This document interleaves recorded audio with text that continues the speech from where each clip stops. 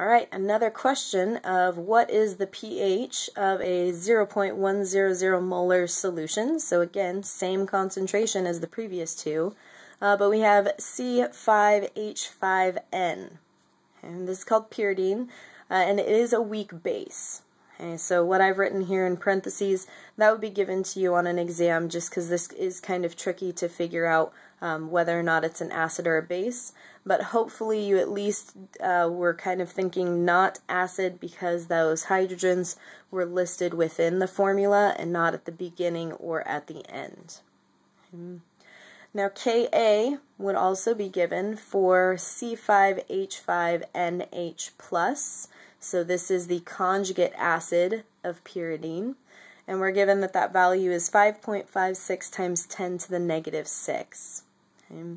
Uh, KAs are typically given. So we, we have tables of KAs. Not very common to find tables of KB.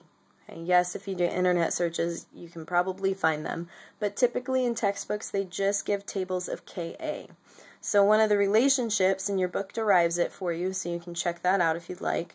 Um, but Kw, the equilibrium constant for water, remember 1.0 times 10 to the negative 14, is equal to the equilibrium constant for the acid times the equilibrium constant of the base. Okay, so we're given Ka, uh, we can we know what Kw is, so we can solve for Kb. When we set up our ICE table, it becomes clear that we need Kb because we're producing the hydroxide ion and not H3O+. Okay, that's a critical change from the previous example where we worked with our weak acid. Okay, we produced H3O+. Okay, H3O plus is our goal to get to, but when we're looking at any acids, or excuse me, any bases, we're going to be producing hydroxide ions. So it just means that we have one more step after we solve for um, our x value, is we need to go from POH to pH. Hmm.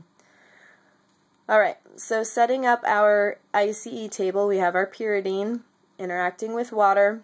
Okay, we're told that this is going to be a base, so it's going to accept a proton to form C5H5NH+. And because uh, water is donating a proton to our pyridine molecule, we're going to end up with the hydroxide ion.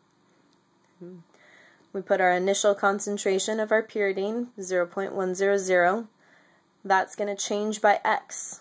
And we don't know how much our change is going to be because this is a weak base. And that is proven by the fact that we're given an equilibrium constant. If we weren't given an equilibrium constant, you might want to consider it being a strong acid or a base, and the change would then be known. Um, sometimes you're just not given a Ka because you're expected to know how to look it up. So it, it's definitely a, a question that you have to ask yourself. So our change in our conjugate acid is plus x, and change in hydroxide is plus x. Hmm. So we now can set up an equilibrium constant expression. Uh, we also need to solve for our Kb value. Hmm. So Kb is going to equal to Kw over Ka. 1 times 10 to the negative 14 over the given Ka, or one that you could look up in your book. And that's equal to 1.8 times 10 to the negative 9. So we can now use this value with our uh, equilibrium constant expression. So we have products over reactants. So our conjugate acid times hydroxide ion divided by our weak base. We end up with x squared over 0.100 minus x. And that's equal to our Kb value that we just solved for. Again, we want to keep our life simple, so we try to do our assumption. We're going to assume again that x is much smaller than 0.100. And so our uh, equation up here then reduces to this. So we multiply our kb value times 0.1, take the square root of it to get x, and we get 1.34 times 10 to the negative 5. We then check our assumption. We have 1.34 times 10 to the negative 5, that's our x value, divided by the original concentration, so 0.100. And that's definitely less than 5%, so our assumption is okay.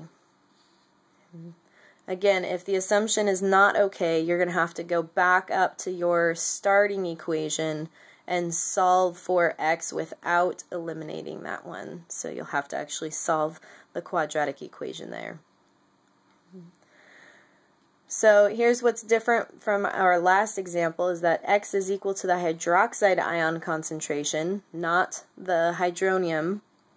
So we have hydroxide ion is 1.34 times 10 to the negative 5 molar. And Take the POH of that, take the negative log to get 4.87.